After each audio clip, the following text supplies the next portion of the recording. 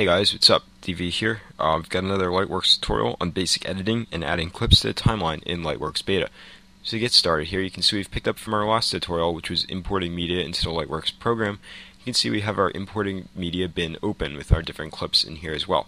now, first off, I'm just going to say these clips at the top here and here are from our recent short film, um, The Winter War, which is still being edited at the moment. But these are just some clips that you're going to maybe see a little sneak peek from throughout the video. So, um, you're going to want to look forward to that. And then we have a bunch of other random clips from the Seeking trailer and a couple other things down here.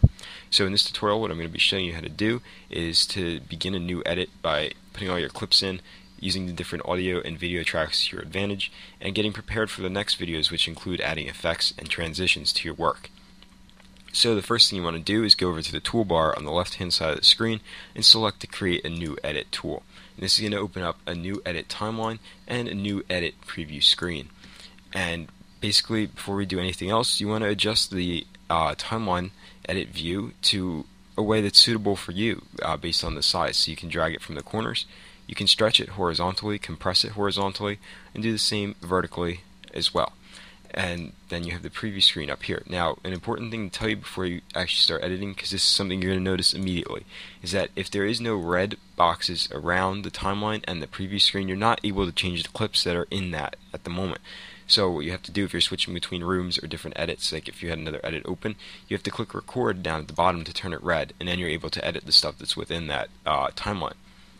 So what I want to do first is actually uh, add one, my opening logo to the beginning of this timeline by just positioning my positioning my cursor at the start of the timeline and then dragging this onto the preview screen and it's going to show up in purple on the timeline below.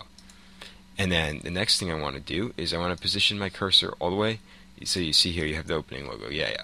And then what I want to do is position my cursor all the way to the right of that clip from the point where it goes from the last frame of the video to a black screen. And that indicates that you're ready for your next clip to be added to the timeline. So I'm going to go ahead and do that simply by dragging this from the import bin and right onto the timeline. then we can get rid of that clipboard clip there and then you can see that you have your opening logo and then you also have um, your footage from your first scene there. Now another option you can do to go about adding it to a timeline is going over here, clicking on this preview window, and then popping out the tile by doing that. But that's just an extra step, and it's a lot easier just to simply drag it from your bin right onto there, which is why I like bins and racks so much, because they're so convenient and so useful. Now, one thing that I really wanted to show you is when you have your clip, you get to the end here, it goes from the last frame to a black screen. What you can do is you can um, add videos or audio to different tracks, like which is useful if you're using PNGs or title sequences that have an alpha channel background that you want to have on top of the current video. Now I don't have one of those available at the moment, but what I am going to do is show you exactly how you can go about doing that. Now if you go ahead and click right click on a blank spot of your timeline and then select add tracks, what you can do, you can add video tracks or audio tracks by choosing the drop down menu at the top. You can choose how many you want to add. Then you can choose a name for it, whatever, or before or after the current one. Then you click on do it. And what that's going to do is add in a new video or audio track above the original one.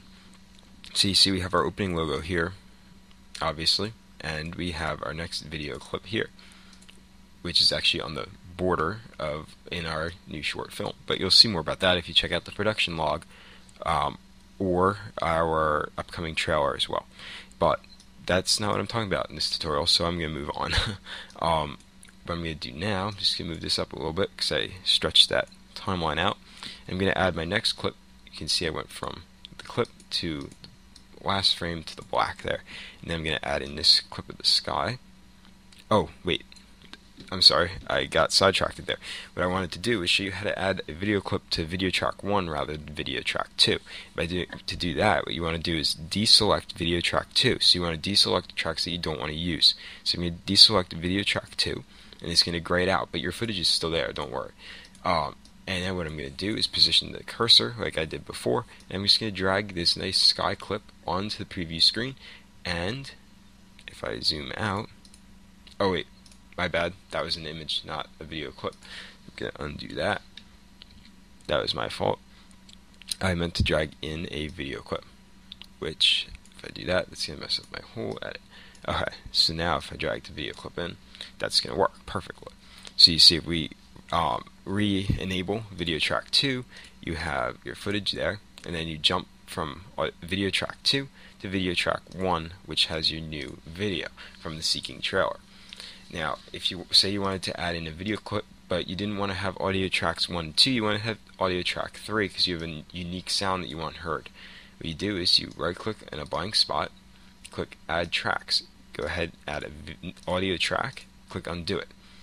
close this window, and then you can do, you can stretch this out a little bit, and then what you want to do is deselect all the tracks that you don't want to be using. So I'm going to switch to use video track 2 and audio track 3, which means I'm going to deselect video track 1, audio 1, and audio 2. I'm going to position my cursor there.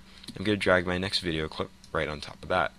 I'm going to drop it into there, and then I'm going to be using video track 2, audio track 3. I'm going to turn on the ones that I had turned off, and now you can see that you have your new video clip here as well. So I'm hoping this is working out a little bit better for you with the specifics, um, these more detailed, uh, I guess, tutorial videos, I guess you could call it. And uh, to wrap this one up, I'm just going to show you how to add your credits or closing logos to your video, which can be done, which is actually a really nice transition here because you see the actors are running off screen, and then it's just going to kind of fade out. And then I'm going to add in my subscribe closing logo, or you could add in your credits if you're using a film. So I positioned my cursor, and actually I want to make this one be in video track 1, audio tracks 1. So I'm going to deselect these, and then I'm just going to import or drag this to this uh, preview screen, drop it into place, and then you see it has this salmony color, and it tells you to hang on. Oh well, it should have told me to subscribe, but it didn't work. Uh, oh, I know why I did that and that was my fault in Vegas. But don't worry, it's not Lightworks. Lightworks looks better actually. But anyway, you can see you can see out in my video at the end of this video actually, and it'll tell you to please subscribe, and it'll be a nice fancy uh, subscribe logo.